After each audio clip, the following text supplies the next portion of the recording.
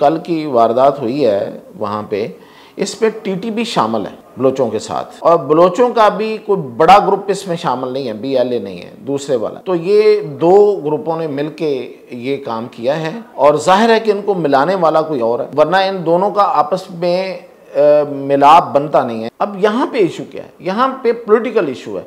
एक यकजहती कौंसल बनी हुई है और उसकी वजह से मसाइल बने हुए हैं और वो लोगों को गलत तरीके से फ़ीड कर रही है वहाँ के आवाम को। और अब जब अगर ये ऑपरेशन करने का जो भी जिस लेवल पे करना चाहिए, उस लेवल पे करने का जब भी प्लान होता है तो वो लोगों की रुकावट बहरल मौजूद है। पहले आप सियासी सतह पे निपटें यहजती काउंसिल को न्यूट्रलाइज करें, और फिर जाके आप पूरी फोर्सफुली उस जाके उन लोगों को तो उनके खिलाफ ऑपरेशन करें तो कामयाब होगा। सब चीज़ों को उसको मद्देनज़र रखते हुए इसका ऑपरेशन जो है ना, वो 20 अरब रुपया मंजूरी हो गई है अज़म इसकाम के लिए और वो पूरी तरह से उसकी प्लानिंग हो रही है।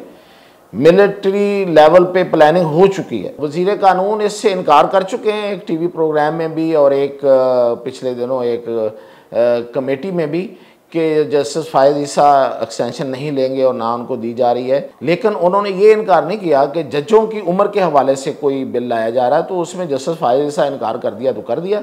वो वो आप, अपने रिटायरमेंट लेके निकल जाएँगे।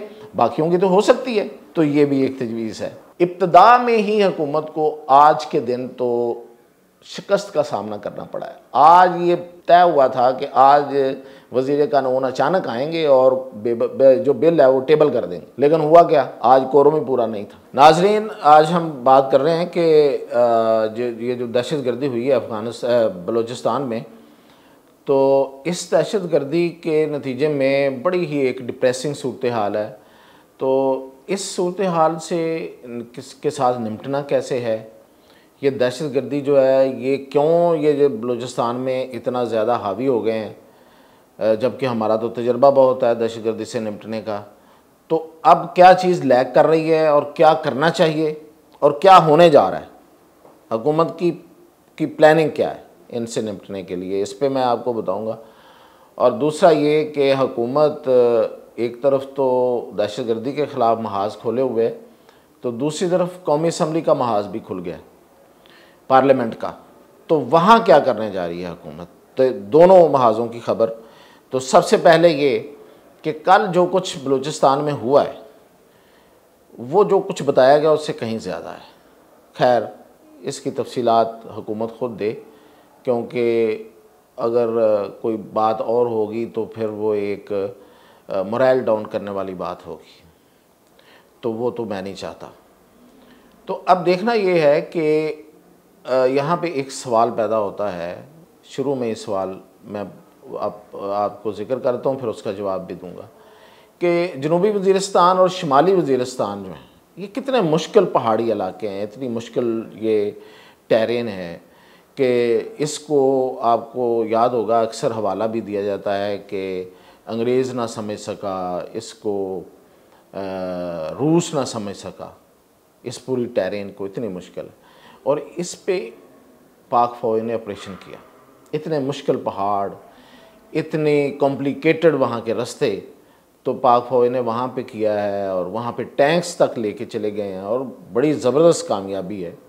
वो छोटी मोटी वारदातें तो वो होती रहती हैं। अभी भी वहाँ से जो वारदातें हो रही हैं, उसकी वजह ये नहीं है कि वहाँ पे उनका कोई कंट्रोल लूज हुआ है। उसकी वजह ये है कि पीटीआई के दौर में फैज़ हमीद ने जिन टीटीपी के लोगों को बुलाया था मुजाकर के लिए, और उनको यहाँ बसाने का जो मनसूबा बनाया गया था कि उनको यहाँ पे घर बना के दिए जाएँगे और उनको सेटल किया जाएगा, वही लोग हैं जो आज यहाँ पहले से आके बैठ गए थे और वो फिर बाद में जब उन्हें पता चला कि हुकूमत जो है वो ये नहीं करेगी, फ़ौज ये नहीं करेगी, फ़ौज का तो ओवरऑल मनसूबा नहीं था, ये तो सिर्फ़ एक फैज़ हमीद का था तो वो फिर छुप गए। अब वो कहीं से निकलते हैं और वारदात करते हैं और फिर छुप जाते हैं। अदरवाइज़ मतलब वहाँ पे जो ए, मैं बता रहा हूँ इस मुश्किल टेरेन के बावजूद वहाँ पे पूरा कंट्रोल है। तो सवाल ये पैदा होता है कि बलूचिस्तान के जो पहाड़ हैं वो तो इतने मुश्किल नहीं है। तो वहाँ पे हमारा कंट्रोल क्यों नहीं हो पा रहा? और ये जो दहशत गर्द हैं ये किस तरह से री हो रहे हैं? और फिर ये कि मुख्तलिफ़ ग्रुप जो हैं वो रीयूनाइट हो रहे हैं। तो इसकी जो, देखें, सबसे पहले तो मैं बताऊँ कि ये जो कल की वारदात हुई है वहाँ पे, इस पर टी टीटीबी शामिल है, बलोचों के साथ।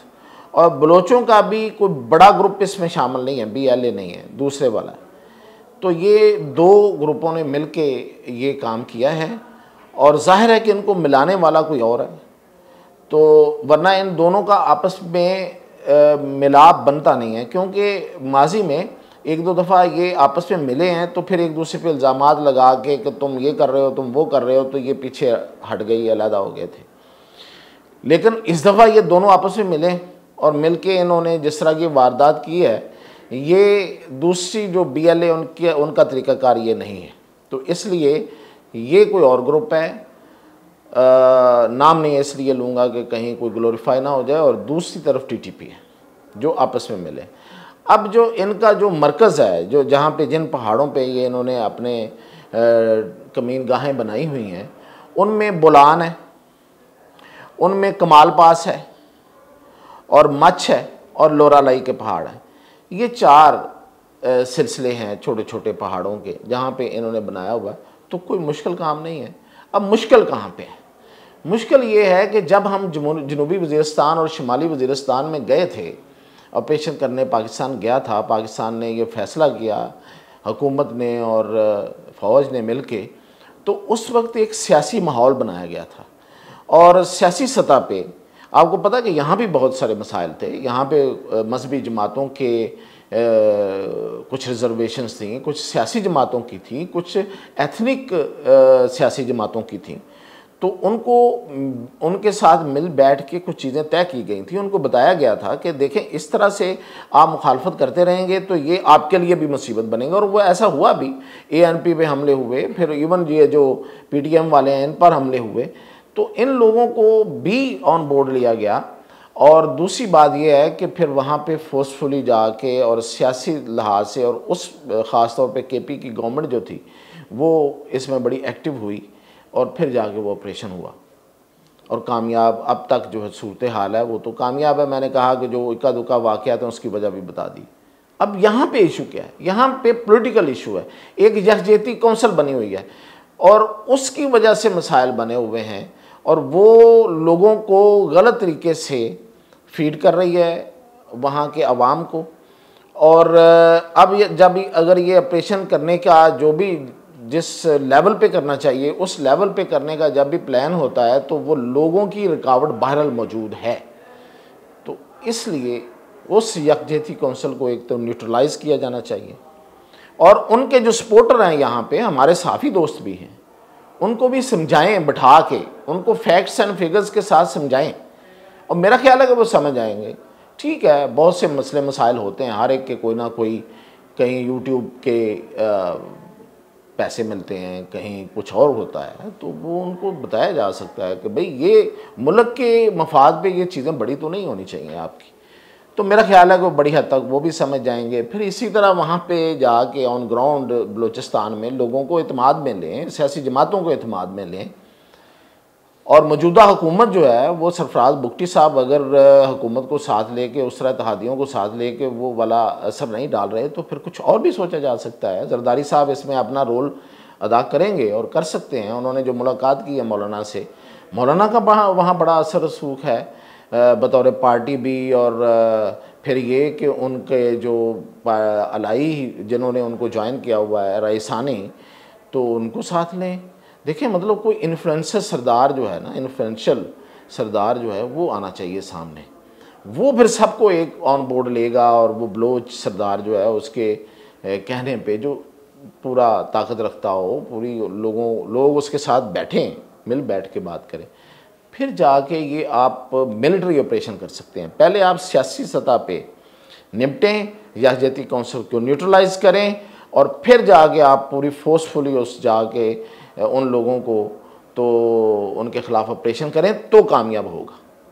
अदरवाइज़ ये कामयाब नहीं होगा। मैंने कहा कि आसान है वहाँ पे मिलिटरीली वहाँ पे जाना आसान है, लेकिन भाई रस्ते में जो आने वाली रुकावटें हैं, वो सियासी हैं। उनको दूर करना भी बहुत ज़रूरी है। तो उनको सेटल करना बहुत पहले किया जाए, और उसमें सदर पाकिस्तान आसिफ अली जरदारी का किरदार बहुत अहम है, और ख़ुद फ़ौज और जो मौजूदा हुकूमत है वफाक की, ये भी अपना वहाँ, क्योंकि नून लीग की वहाँ खासी बड़ी तादाद है पार्लियामेंट वहाँ की असम्बली में। तो ये सबको मिल बैठ के इसको, और ये हलिस्टिक अप्रोच होनी चाहिए एक, कि सब चीज़ों को उसको मद्देनज़र रखते हुए इसका ऑपरेशन जो है ना, वो 20 अरब रुपया मंजूरी हो गई है अज़म इसकाम के लिए, और वो पूरी तरह से उसकी प्लानिंग हो रही है। मिलिट्री लेवल पे प्लानिंग हो चुकी है और वो बिल्कुल अब बर्दाश्त इनको बिल्कुल ज़ीरो टॉलरेंस कि अब इनके पीछे जाना है और इनको जहाँ तक जाते हैं, वहाँ तक इनको मार के आना छोड़ के नहीं आना। ये नहीं होना कि अब हेमन अपनी जो सेव हेमन है, उसकी तरफ़ चले जाएँ, वहाँ पना ले लें और फिर वहाँ से वापस आएँ। अब वहाँ तक जाके उनको वहाँ भी मार के आना है। ये प्लानिंग है, पूरा ये मतलब ये छोटी रकम नहीं है, बीस हज़ार रुपया, और इसीलिए ये मुख्त हुआ। लेकिन उसके लिए मैंने कहा, जो पहले ग्राउंड तैयार करनी है, उस, वो भी बहुत ज़रूरी है। तो अब आते हैं, जो हुकूमत ने पार्लियामेंट में महाज खोला है तो वो है कि कुछ तरामीम लाई जा रही हैं और कुछ जुडिशल पैकेज है। वज़ीर कानून इससे इनकार कर चुके हैं, एक टीवी प्रोग्राम में भी और एक पिछले दिनों एक कमेटी में भी। कि जस्टिस फायद ईसा एक्सटेंशन नहीं लेंगे और ना उनको दी जा रही है। लेकिन उन्होंने ये इनकार नहीं किया कि जजों की उम्र के हवाले से कोई बिल लाया जा रहा है तो उसमें जस्टिस फायद ईसा इनकार कर दिया तो कर दिया। वो वो आप अपने रिटायरमेंट लेके निकल जाएँगे बाकियों की तो हो सकती है। तो ये भी एक तजवीज़ है। वो कह कुछ और रहे हैं। वो कह रहे हैं जस्टिस फायज ईसा ये नहीं कह रहे बाकी जजों की उम्र के हवाले से कोई ऐसा नहीं हो रहा। तो ये है। इस बात को समझने की ज़रूरत है। वो कल को कहेंगे, मैंने तो जस्टिस फायज की बात की थी। और दूसरी बात ये है कि स्नैरिटी सीनियरिटी के बिना पे जो चीफ जस्टिस बनना और ये, इस पर भी बड़ी बहस है कि क्यों ओनली सीनियरिटी क्यों नहीं कि किसी का तजर्बा? क्यों नहीं किसी की एबिलिटी अगर कोई ज़्यादा एबल है, ज़्यादा तजर्बाकार है चीफ जस्टिस बनने में के लिए तो उसको होना चाहिए। बजाय इसके कि आप कहें कि नहीं, इसकी उम्र ज़्यादा हो गई और ये सीनियर हो गया। तो पड़े पड़े भी सीनियर हो जाते हैं। मैं किसी को कह नहीं रहा मुहावरतन कह रहा हूँ। तो इस पर भी गौर हो रहा है कि क्यों ना इस तरह। और फिर जजेस की तादाद बढ़ाई जा रही है।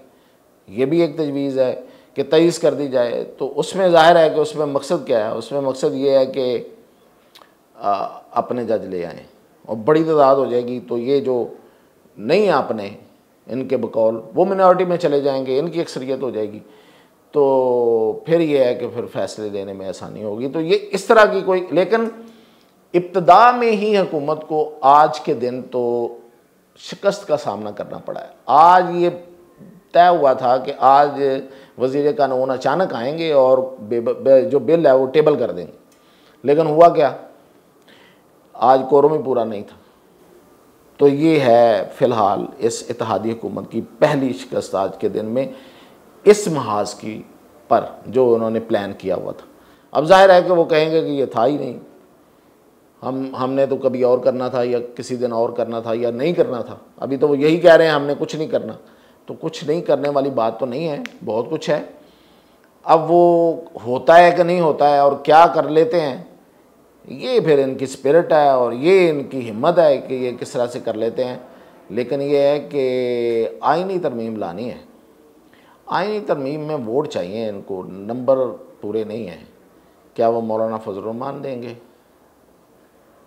या कुछ और आज़ाद लोग देंगे? आज़ाद पता ही है ना आपको किन के, पीटीआई के तो ये क्या इनकी तैयारी है? इसके बारे में आपको कल बताएँगे। वो अपडेट लेके।